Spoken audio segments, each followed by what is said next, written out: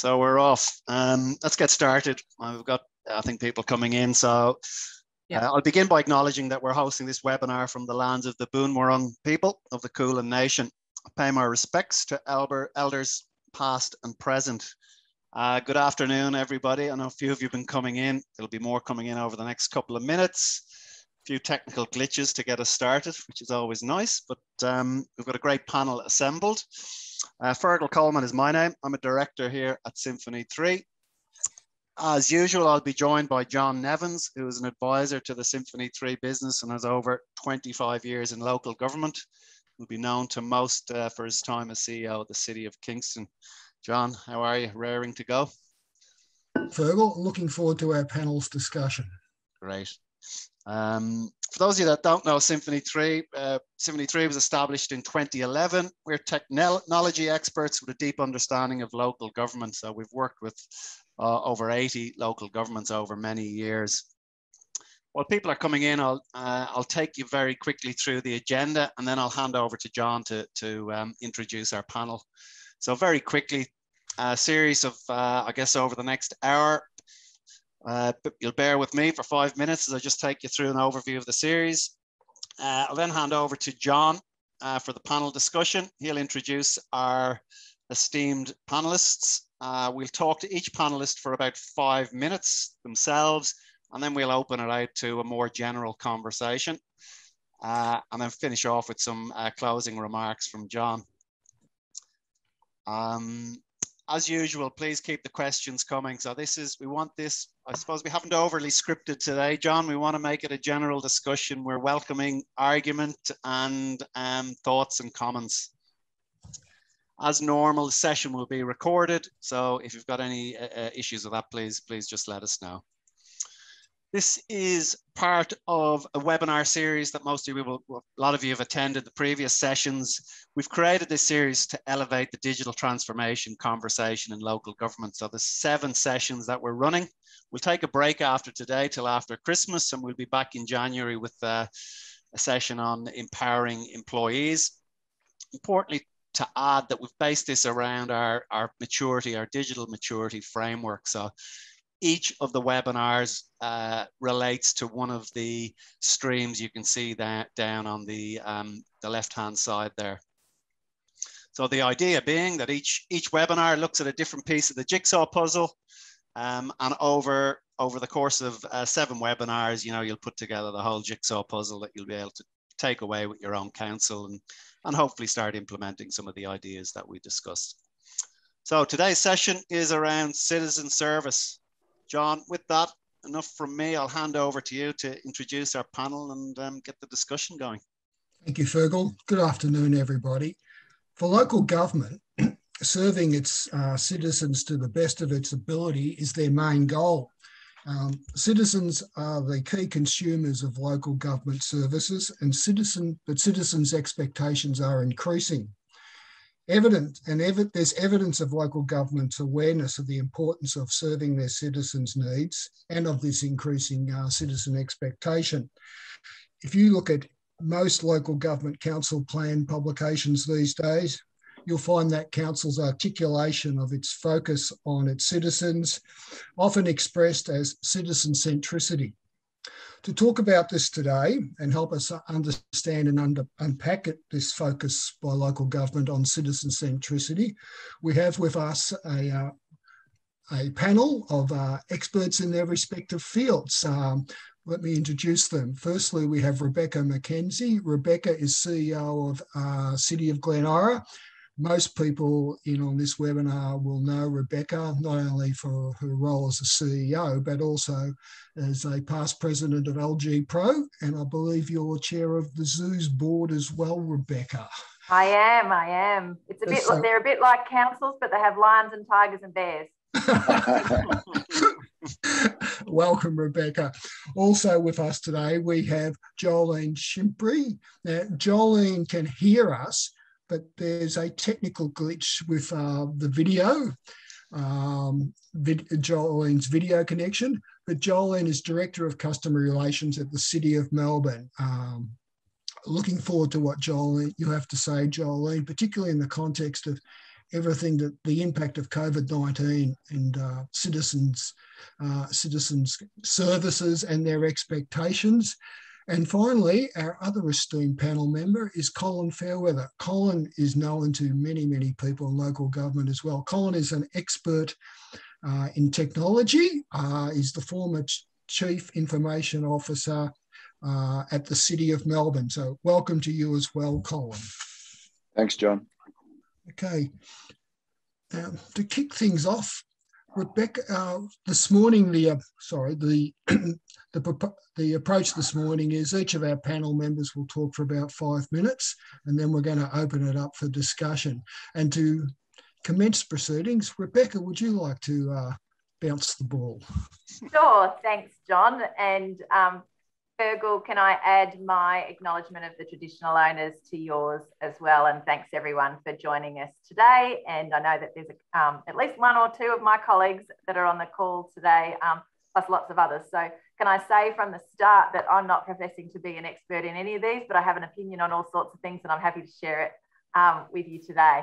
Um, and I was also reflecting on um, Fergal's jigsaw that he offered um, up before in terms of how the series is going to pan out because I think for me, citizen centricity is a really important one. And I, I would have drawn the jigsaw slightly differently, and I would have put the, the citizen centricity in the middle because um, for me, that's really why we are here.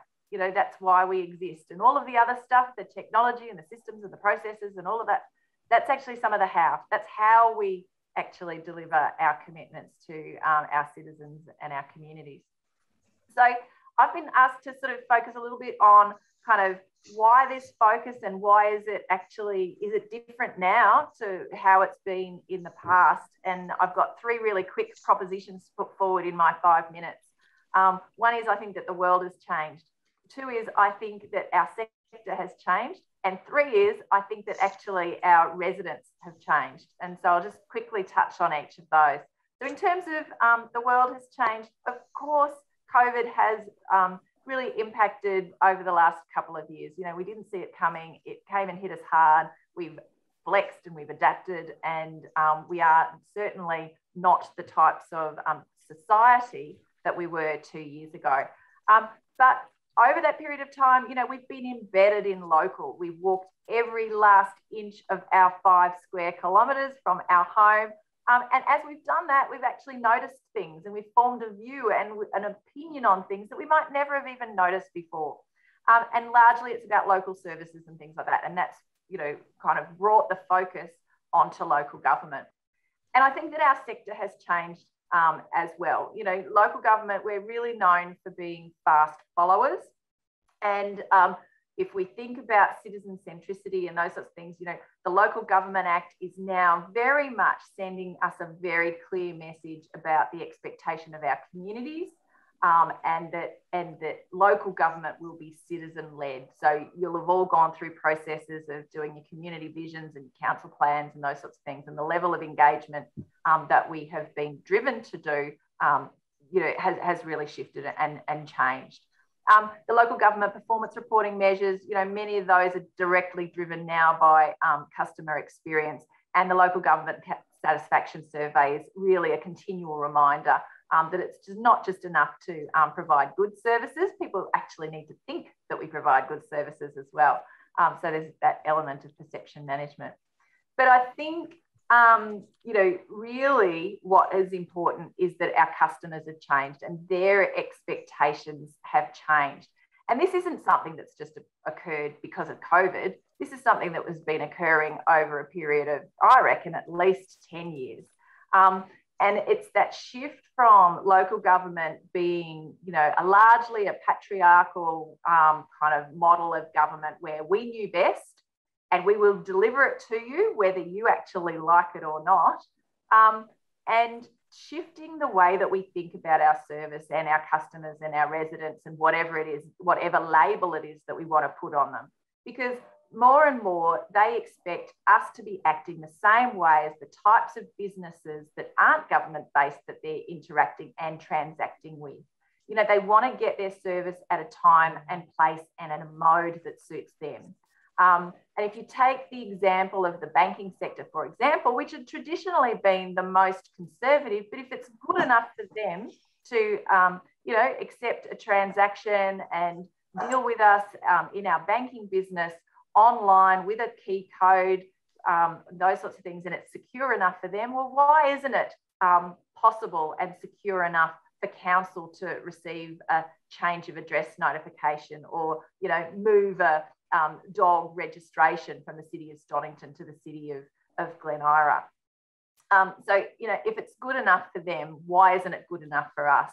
And that significantly, you know, that expectation has then started to drive perceptions of how they think about um, local government. And I think that, you know, as part of that, we need to be far more, um, far more agile um, and thinking about things, really putting ourselves in the customers, in the customer's shoes. Um, and the other is that I think that you know, views and perceptions of local government are shared far more frequently than they might have been in the past as well. And social media has played a really key part of that. So if a customer is not happy with us, um, they find it very easy to actually share that view now. Um, and that in turn shapes perception, coming back to the issue that I was talking about earlier. Um, but I didn't want to leave customer centricity just talking about technology because I think that we sort of spend a lot of time um, at flash conferences and webinars and those sorts of things. Sorry, Fergal. Um, talking about digital transition, transformation, talking about efficiency, service reviews, harder, faster, sharper, cheaper, um, smarter, and technology is the answer to many of those things. But actually, there'll always be those who fall through the cracks. And for local government, I think we need to also remember when we're thinking about the customer, it is not just about um, the technology and the service elements of those, but actually we have a role in servicing those people who fall through the cracks um, and how we make sure that we maintain that sort of balance around um, our approach, that it's not just one thing. Technology, digitization, etc., is part of a suite of ways that we actually cater for um, our community. And I'll just leave you with one example of that. Um, so libraries, during lockdown, libraries transitioned to a click and collect model. Um, you think if you're going to have click and collect, you actually need a click in order to then collect. Um, but you know, we had a resident who relied on actually going to the library to have access to a computer, so he couldn't click and collect, and might have normally been socially isolated. So what he did was each week he wrote down on a piece of paper what that he'd like some books. He put it through the chute. Our staff took that note, used that as his click and collect request, and then um, enabled him to have um, to collect his books, uh, which enabled him to sort of maintain good peace of mind and those sorts of things during COVID. So for me, that's citizen centricity about how we think about and put our customers right in the centre of what we do. Thanks, John. You're on mute. You're on mute, John. I got to do that. Hooray. There we go. Uh, that's a great, in fact, last example is a great example of uh, citizen, citizen, um, the citizen focus, Rebecca. It's not about the technology. Technology is the enabler, but it's all about what are the, what are the citizens' needs and how do we best engage with all citizens. Uh, our next panel member is Joelene. Joelene, I Joelene's with us. Yes. If Joelene unmutes.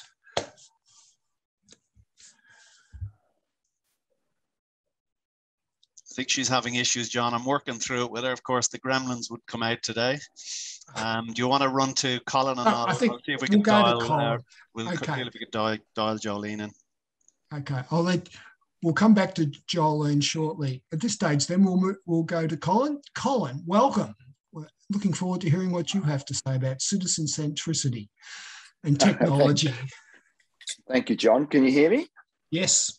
Good, excellent. Um, just to follow up on a couple of things Rebecca said. So, one, I'm not a technologist, John. You set me up to fail there.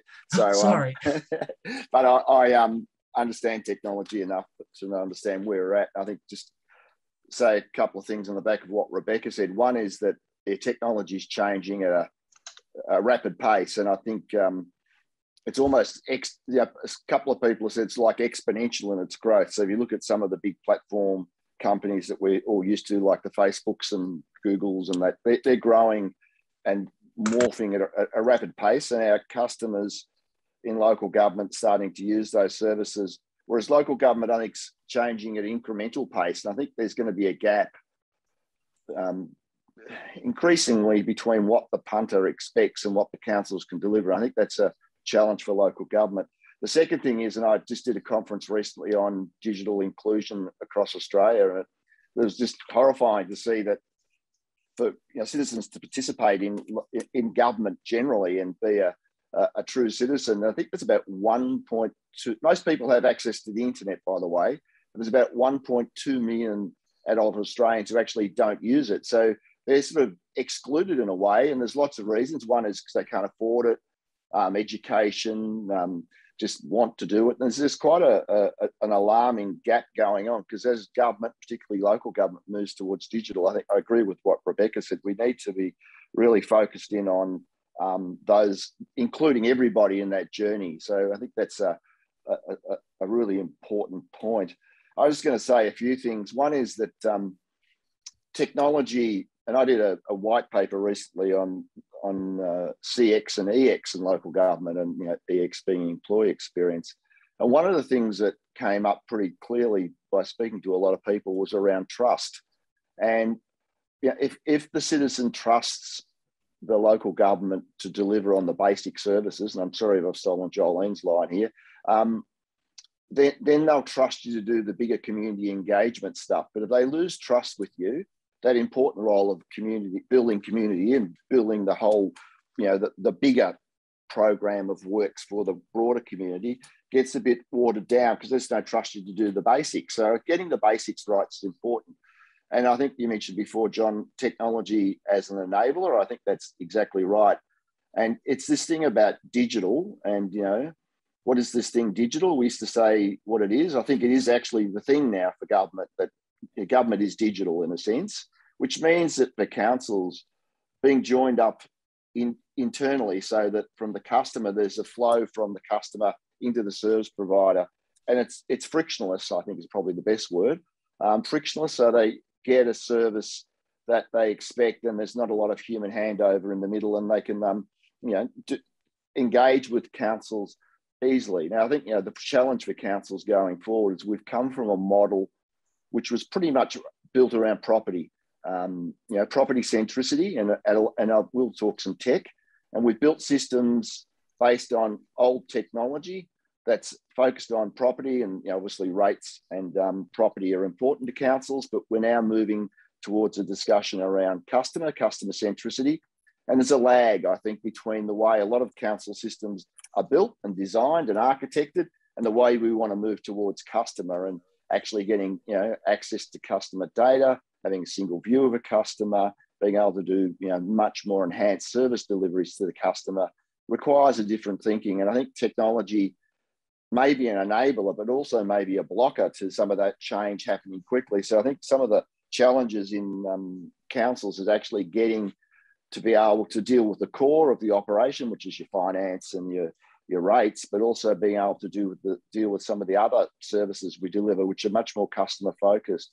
I think the challenge also for councils is that the core is probably going to remain the same, but around the edge of council, um, services are going to come and go from council. So, you know, be controversial. One day you may not be running childcare, but you know, if you lose childcare, can you just pull it out of your system and move on and keep going? And or you may may take on another service. So I think this sort of edge stuff around councils is also important and it's informed by technology. And I think, um, you know, we still haven't got it entirely right yet within the technology field. And I think we're, you know, we're playing a bit of catch up. And I think executives like uh, Rebecca and I know Joelene are ahead of the curve and um, technology can be chasing its tail a bit and trying to keep up with it. And I think there's a, there's a real challenge for technologists to be actually make themselves more focused on customer and build that sort of uh, um, I suppose, change the mindset, help change the mindset of the organisation towards a focus on customer and service. And I think that's um, very important. Um, I can keep going, John, but I'm maybe going to have to. No, no, it's Colin. Okay, well, well, thank you, Colin. Um, Fergal, do we have? We have Joelene. I think we have finally have her. The gremlins have oh, gone beautiful. away, thank God. My heart pressure is coming down a little bit, John. So um, yes, I think we can mine. hear. Joelene, welcome. It's so so good to hear and see you. Uh, uh did a reboot, you know. Uh, hello. know that. We should know that, shouldn't we? Reboot, reboot. Well, welcome, Joelene. I'll, I'll hand over to you at this point. Thanks. And it was great to hear from Rebecca as a uh, CEO who clearly has her finger on the pulse when it comes to CX. Very important contributor, I think, to um, citizen centricity. And apologies, I didn't quite catch all of yours, um, Colin, but I'm sure you would have talked about things like trust and technology is only part of the picture. Um, so I wanted to cover off on probably a bit of both of those if I could. Um, just to talk about myself very quickly, I'm the Director of Customer Relations at the City of Melbourne. I look after Contact Centre, Voice of Customer, and I have a small CX team. Um, so we often talk about customer or citizen centricity as putting the citizens at the heart of everything an organisation does. And for me, it really is uh, about organisation having a deep understanding of who their customers are, what their needs are, what their expectations are, their preferences, and most importantly, what they value. Highly customer centric organisations for me have the systems, the data structures, the processes, the services, programs, and of course, they must need um, a bit of money to do that to deliver on those needs. But the organisations must also have really highly engaged employees if they want to be truly customer centric and constructive and collaborative cultures. And also must have very committed CEOs and senior leaders. I wanted to talk today a little bit about um, what City of Melbourne is doing to build better a better understanding of um, customers, starting with some measurement and metrics. So Fergal, if you could pop onto the first slide, that'd be great. Um, Rebecca and Colin have probably talked about the expectations, and I know that you did, Rebecca, surely, about um, customer expectations are rising, and they are expecting organisations like ours to be contemporary in the way that they deliver services and experiences. Um, they want they want it to be quick and efficient. They want to deal with very professional people. Um, you know, there's a whole lot of attributes that you all know that they need uh, to um, experience of organisations like local governments.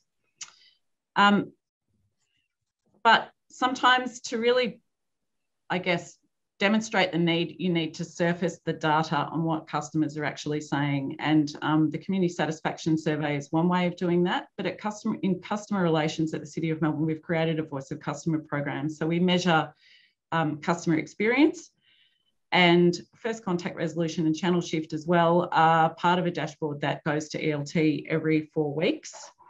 The CX score is a measure of the experience of customers at the closure of all cases that are created in our CRM. The survey is issued 24 hours after this case has been closed. And we have a proxy NPS question, um, which you can see there, which asks customers a question that says, based on your service experience today, how would you rate the City of Melbourne? How would you speak of the City of Melbourne, rather, to your family, friends, and colleagues? One is negative if not asked. One is negative if asked. Three is neutral, and it goes up the stream to five, positive if asked, positive if not asked. So five, four and five scores are proxy promoters. Um, customers also have the opportunity to leave a verbatim statement on why they rated the score that they did. Um, so that's a little bit about the customer experience score and the way we gather insights from customers.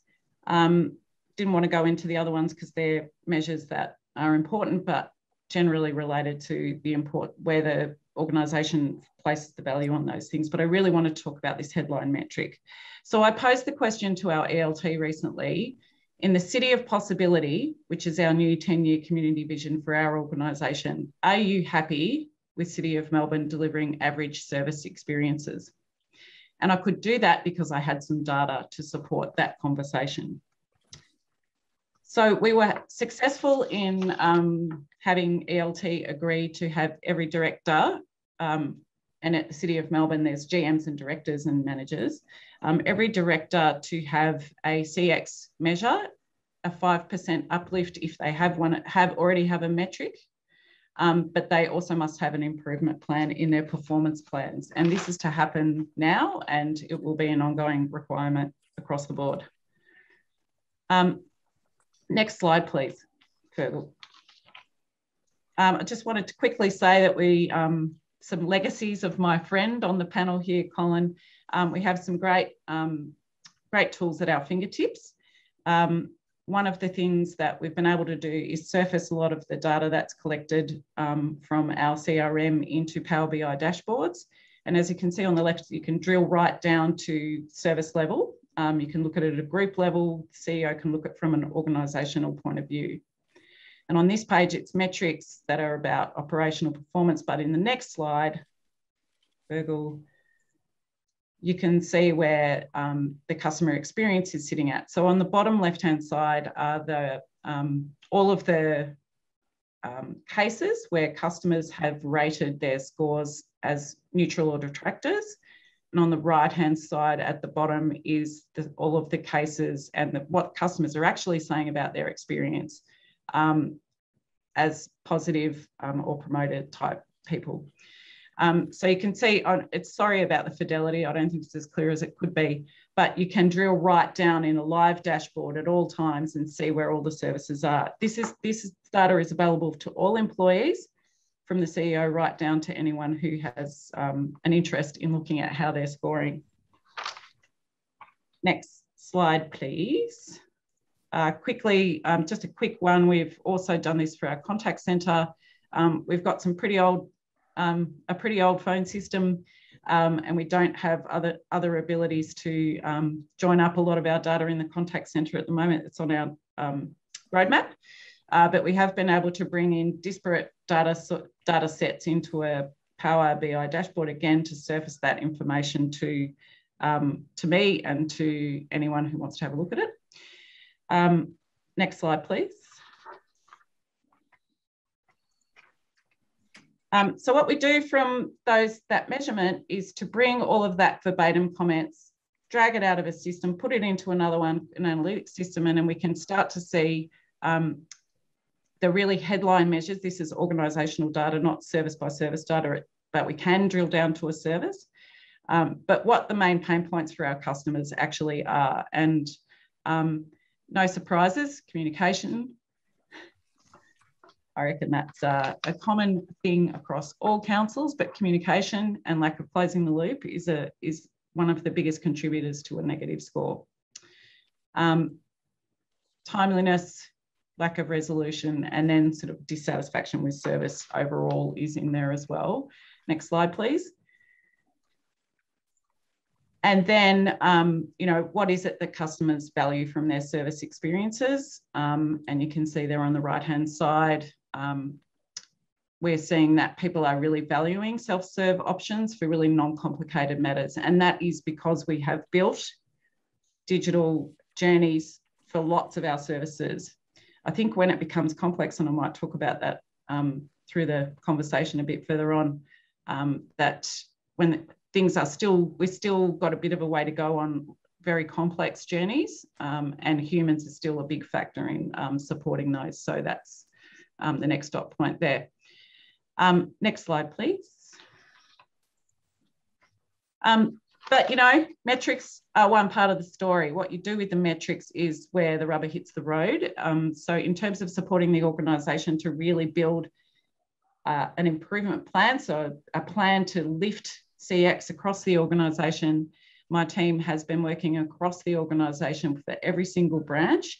At the, it's a big it's a big job that we're doing at the moment to establish a way of measuring CX if, in, if there isn't already one. So that dashboard is for a, a, a large part of our business, but it doesn't include some parts of our business. So for example, um, our legal service previously wouldn't have measured the experience of their customers within the organisation, and we're actually bringing that into um, the requirements. So the legal ser service, the finance, finance services, technology services are all part of that mix. Um, and they are at the moment designing surveys or doing doing um, creating ways of interviewing their customers to determine what they value so that they can build their improvement plan. Um, and clearly there's different types of levels of maturity across the organisation. Um, and that's to be expected. You know, people delivering frontline services are going to be different to those who are who are potentially doing back of house stuff. So, um, you know, we're on we're on a journey. There's different levels of maturity. Um, I'll just finally say that some people are running at this with gusto, and we've got some really fantastic early adopters. But as I said, there's different levels of maturity.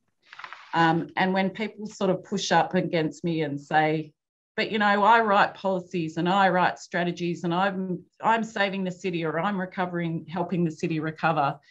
Um, and I think um, Colin and I talk about this a little bit. It's the daily interactions that customers have with organisation that builds experience trust.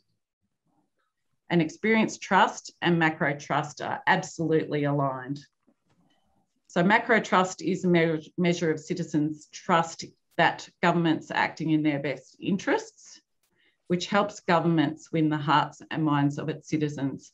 And acting in their best interest is actually what the state government gazettes local government to do. So it's the reason why we're here.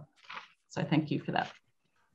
Nicole, uh, Joelene, they are an impressive set of da impressive data capture and metrics presentation. Okay, we'll now move on to some questions and please, uh, everyone attending, use the, uh, the chat bot, the chat function to, uh, to, load, to lodge any questions you may have and Fergal will monitor that. But perhaps I could start the questions uh, with yourself, Rebecca. Um, what do you think local uh, citizens' wants and needs are from a from a CEO's perspective uh, versus the citizens' wants and needs from a, a councillor's perspective? Is there a difference? Are they the same? Is there a translation in there?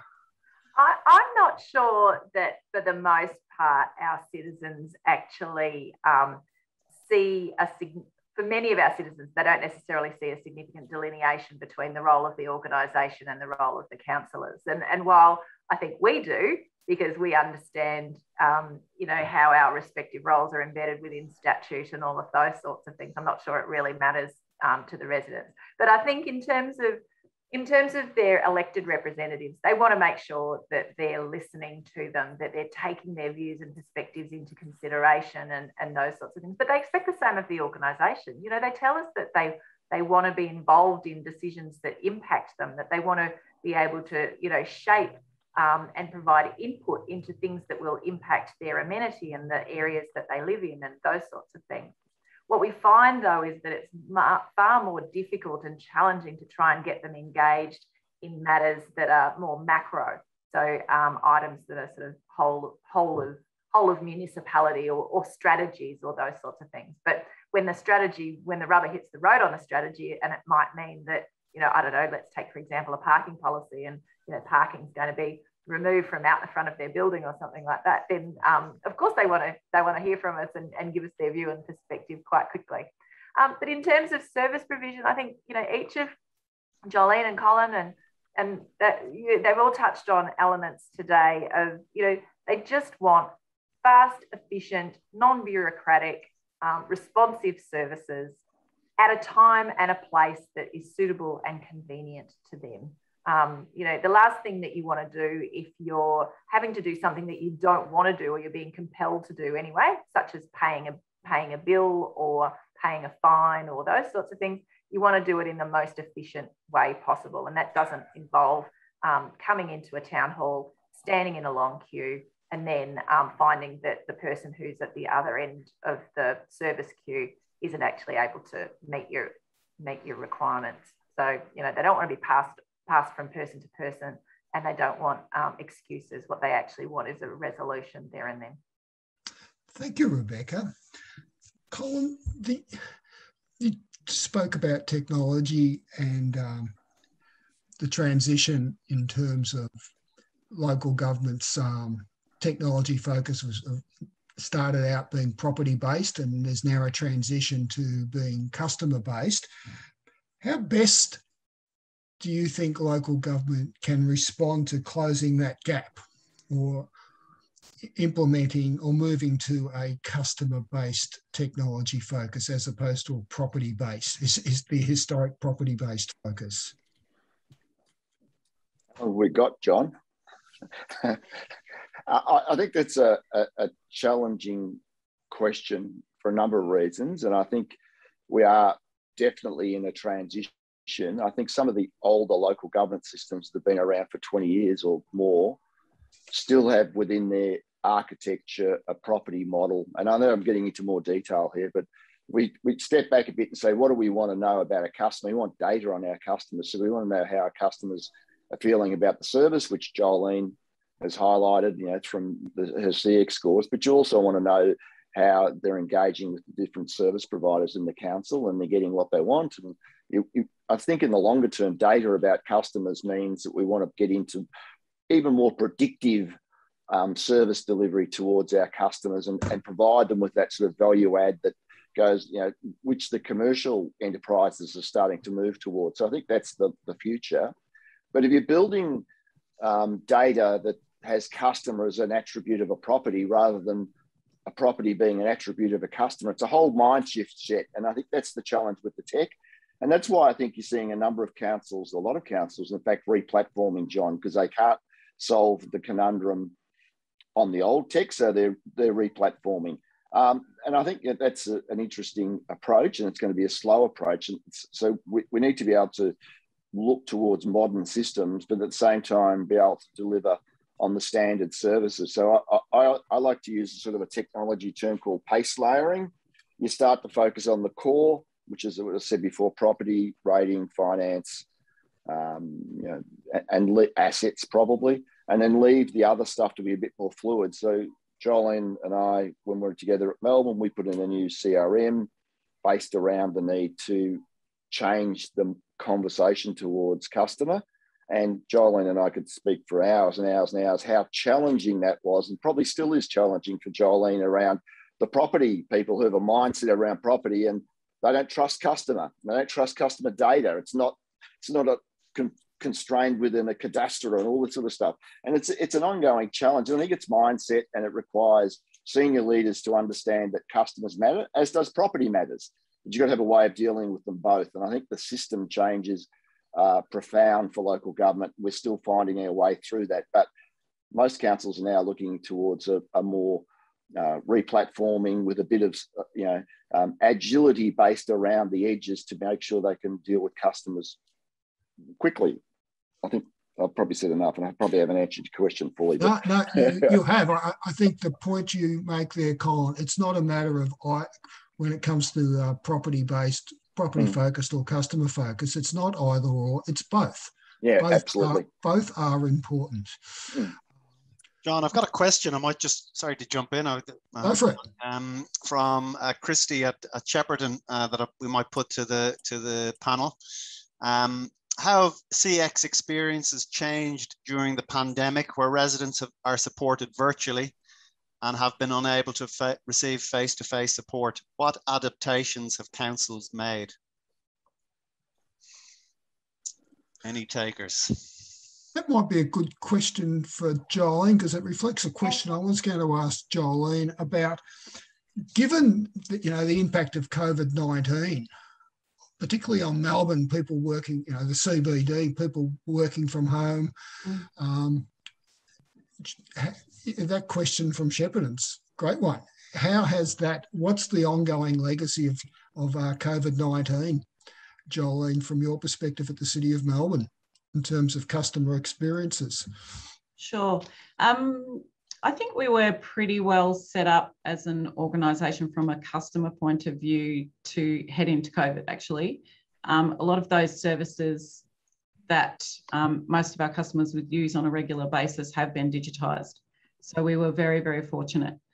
Um, we had had a flexible working model um, that and a flexible working policy and ability to work remotely um, that was really, uh, I guess, in a in a sort of fairly low level um, stage at the time of COVID, and the tech team in the background, you know, the capability was there, but the capacity wasn't there. So the tech team worked really, really hard to stand that up very, very quickly. And I don't think there was much um, loss of service, to be frank. Um, but what we we sort of stuck around until right to the end I think uh, my last day at work was something about something like the 27th of March um, when we closed down the service centre um, reluctantly, but um, importantly for um, the best interests of our staff at the time. Um, we, a lot of the work that we um, give in a face-to-face type arrangement is payments, but we did transition to a cashless front desk probably about a year and a half prior to that. Um, permits, so things like interim parking permits and stuff. And because we weren't doing a lot of enforcement, those sorts of services weren't needed as much anymore. And what we ended up doing is um, a lot of our back of house service people um, were still coming in in terms of issuing permits and we had to mail them out. Uh, but we transferred some of our contact centre staff in to be able, because they could issue them at the front desk, um, actually doing a lot of the back of house admin to support the permits team so that we could get them out. So we just moved moved labour from one part of the business to another and worked collaboratively with our team. Um, so that's how we transitioned. I think there was also, um, you know, lots of things that lots of things like libraries and things have done where they've, you know, established click and collect type services. Um, but as far as I'm aware, very little diminution of service. One thing that City of Melbourne also did was anyone that was um, unable to work in a, in a front-facing service was redeployed to another essential service where it was necessary so that they could maintain their roles, which was fantastic, such a fantastic thing for our organisation to do for its um, long-serving staff particularly.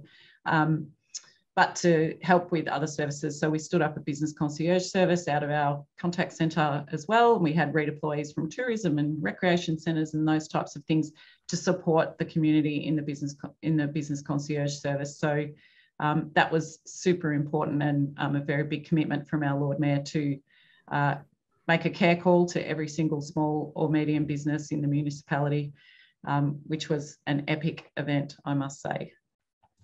Thank you, Joelene.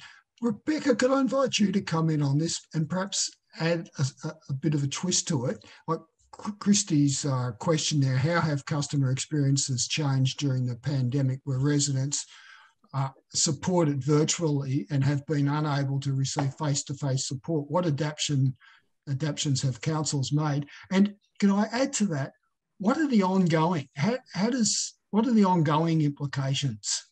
Yeah, thanks, thanks, John. And um, you know, we had some similar experiences to what Joelene has um, spoken about at City of Melbourne. Um, and I guess one of the early reflections that I'd say is that um, if the council wasn't well progressed in terms of um, technological and cultural transformation in terms of readiness, they didn't adapt quite as well as those who had already invested in some of that stuff. So, um, you know, in Glen Eira, we were working remotely within a process of about three or four days um, of shutdowns being, um, you know, announced and those sorts of things. We were able to be really quite agile on that. But you're right, John. There's been, um, you know, I think that some of the changes that we put in place during COVID are now going to be embedded as ongoing because they've become expectations of our community. So things like, um, you know, running leisure services online so that people could actually access um, their, you know, I'll call it, i will show my age, I'll call it aerobics. Um, that their, their, le- you know, their leisure activities and all of those sorts of things online, um, arts and culture events and things like that. So by taking that stuff online, we've actually increased the reach so people who may not have previously been able to engage with those programs were able to engage with those programs, which included, you know, the elderly and, and people with disabilities and those sorts of things that may have found it more difficult, or people with, you know, agoraphobia who may have found it more difficult to engage in um, traditional ways, actually found it better for them. So I think what we'll find is that these multimodal ways of operating our business will now become part of the way that we work in local government because it actually enables us to service more of our community, more of the diversity in our community in a better way. And the other thing that we found was that, you know, we had a transformation program in place, but what we needed to do was to actually change some of the priorities within that. So some of the things that we thought that we might um, invest in over the last couple of years we put slightly to the side and said actually they can wait, but really we need to accelerate having a chatbot operating, for example, on our website, or accelerate the, um, you know, really making Snap Send Solve work from an end-to-end perspective, so that actually, um, while people were out and about and walking around our neighbourhoods, um, they could easily access and log um, issues so that we could then log those as a service request, etc., etc. So, you know, I think that, that the lasting impact is the expectation that actually we don't just go back to face to face service delivery now, we stay as a multimodal operation. And that will be challenging because that will bring, you know, costs and impacts and those sorts of things, but it's a better customer experience. Thank you for that, Rebecca. I think that's a really pertinent point. It adds to the customer's expectations and standards of, they've just been raised. Uh, I've got another couple of questions here, if unless you want to ask some other ones coming through. Oh, I was just going to acknowledge a former colleague of mine at uh, Kingston, Brooke. Uh, welcome, Brooke. And Brooke's got a question for Joelene.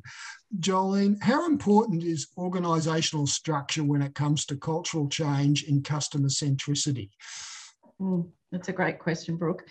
Um, I think one of from my perspective, one of the biggest shifts that we've had is bringing teams together to solve problems.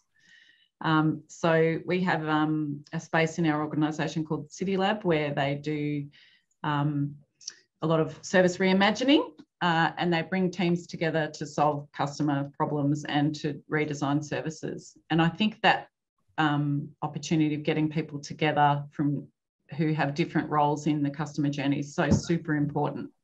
Um, and we recently, I think lots of councils have been through the better approvals process, but there was a, you know, a six week sprint, which was essentially bringing together health officers, customer relations people from our planning area, engineering area, all sorts of people um, together to uh, cut red tape for um, starting small businesses in the city of Melbourne um, which actually gave rise to the, the business concierge service that we're about to launch as a start a new business, have this one-stop shop uh, when on the 15th of um, 15th of March in um, last year. So we pivoted at that pr pretty quickly to a different um, type of service, but still in the concierge um, realm. So super important. And um, I think culture is the final bastion of customer centricity.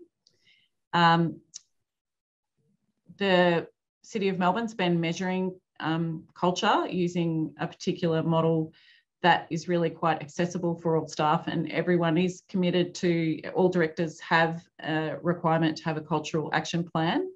And um, I feel like the culture has lifted, the organisation's more collaborative and more positive, and I, I really believe that's starting to improve the customer experience quite a lot. Thank you, Joelene. Fergal, do we have? I think yeah, I've got another questions. colleague of yours, uh, Sarah Bishop, uh, who. Hi, Sarah. Uh, that was a great question. Uh, councils do a lot of community engagement around visions, strategies, policies, projects, etc. Yet often this data is used once to inform the particular piece of work and then goes nowhere else. Do you think this data has a place in building an overall understanding of your community in addition to service request type interactions? Uh, if so, how could this be achieved? I know I've discussed this with Sarah and myself at times. So yeah, that's a great question. Would you like me to lean in on that one? Yep. Go for if it. like. If anyone else has um, would like to, otherwise I'm happy to. Um, we, we're actually uh, doing that, we're just starting that journey at the City of Melbourne actually. Um, so we've got a um, new community, uh, like a just very recently um, new community development team at the City of Melbourne and um, the City Lab team that I spoke about earlier, customer relations and the city and the community development team are getting together with our data team and we're actually having a look at how we can produce a neighbourhood data bank on customer. Um, so looking at all the disparate customer data sets and, and trying to really bring it in together to having a, you know, a suburb by suburb as well as customer group, customer persona type view of, um, of all of the data that we have collected in the organisations. And that is super exciting, I reckon. Super, super exciting. So it definitely does have a place Colin, I know you wanted to jump in. I see in chat. Do you want to have your tuppence worth? Just mindful of time, John. Another five minutes, but uh... yeah, thanks, Fergal. I was just going back to that culture thing, and I I I have a view that councils um the culture part's really critical because if it, uh, you know if a CEO from 1920 rocked up into a council in 2020, they'd probably find themselves not too lost. They'd probably get shocked by the number of um, computers, and they might get shocked by the fact there's lots of female CEOs because to be a male CEO from 1920. But a lot of the functions are actually still the same, and local government's still on this cha- transition, I think, to a corporate type role. So there's a lot of what I call artisan practitioners in councils. Engineers are artisans; they practice engineering, and there's you know property people who practice property stuff and plan, and they they've all got this long history within local government. I think it's hard to get them to get out of that mindset and start thinking it's getting better and it needs leadership, but to actually get out of that mindset and start thinking more broadly about the organisation as as as a, a, a maker of place and a maker of customer experience. And I think you know, and, and regulating place and things like that that councils do and not just deliver a particularly narrow service. You know, I fix drains or I do, you know, I, I go and do a building inspection. I think that's a broader issue for culture that's still being challenged. And I think it takes um, CEOs and leaders to actually start uh, embedding that. And I think the other point I'd say is you don't need to get, get any change unless you know, if you can't manage it, you can't measure it. You know, you've got to measure it to manage it, basically. And I think actually, as Joelene showed, putting in sort of challenges within executives' um, performance plans to actually deliver on that change is really critical. That's all I wanted to say. Final question. I'm going to ask this one, John. Two tips for we've got you know we've got plenty of other councils on this listening into some of the great work that um, Rebecca you're doing and, and Joelene also. Any tips for maybe some smaller councils? How do they get started on becoming customer centric mm. in 30 seconds or less? What, what, what would your advice be from what you've learned, uh, I guess, um, over the last number of years? You've got to drink the Kool Aid and then make sure that it is embedded through. So, you know, your CEO need, and your executive need to be believers. That would be my, my tip because if they're behind it, then it'll actually ha- it'll happen. I could talk for ages, but I'll I won't. I'll let others come in. Absolutely, Rebecca, and um, I think I did a stint with um, my friends in Wangaratta on a secondment once, and um, I had a great culture in that organisation, and they deliver great experiences because they are close to the community and they're part of the community. Um, so don't forget, your customers might be your friends, your family, and they're humans just like you. So just treat them the way that you would like to be treated. Are you there, Colin? I've got nothing to add to that. I think both of you are absolutely correct. And as a customer of local government, I think it's um, you know, it, has been. Uh, I, think, I think it's often about sort of the journeys you have at different times, and you know, you need councils at certain times, and then you don't think about them a lot. But I think, as Joelene said, you know, you are a member of a community, and you and and you want to be treated like the way you, you treat others. And I think that's really important. I think local government's um, really kicking goals at the moment in that space, you know, particularly on the back of COVID. So that's all I want to say. Wonderful. John, I might hand over to you. We, we could keep going here for another hour, I think. Um, it's we've we've answered a lot of uh, questions, and I'm sure it's raised plenty more. But um, maybe we'll hand over to you to do a vote of thanks and uh, some closing remarks. Thank you, Fergal. Well, firstly, to Rebecca, Colin, and Joelene, thank you so much for giving us some of your uh, precious time today to, uh, to, be part of this webinar. Your comments have been, all your comments have been insightful and thought provoking. It's uh, this is a journey, this customer centricity journey that local government's on. It doesn't stop. I think it just keeps evolving, and the challenge it's an ongoing challenge to, for uh, all local governments to be aware of what are their customers' expectations, how does local government best respond. But Rebecca, you made the point in your uh, initial comments around we can't leave anyone, local government can't leave anyone behind either. It's got to be all embracing. And as we, uh, both you and Joelene and Colin um, made mention of COVID 19, the implications of that as we come out of COVID 19 the experiences now that customers have around being able to access services and make inquiries and complaints online and that move to being online virtual is not going to diminish. It keeps increasing. But as we've heard today, local government should be very confident about its ability to respond to those challenges because we certainly have people on our panel today who are up for it, who are demonstrating they're actually doing it now and providing some great examples and insights for all of us. So thank you, Rebecca. Thank you, Colin. Thank you, Joelene. Uh, and to everyone who joined us today, it's been a pleasure to host you on this webinar. And we look forward to, uh, to catching up with you all again in the new year. Thank you. Thank you, John. Thank you, everybody. Thank you. Thank you.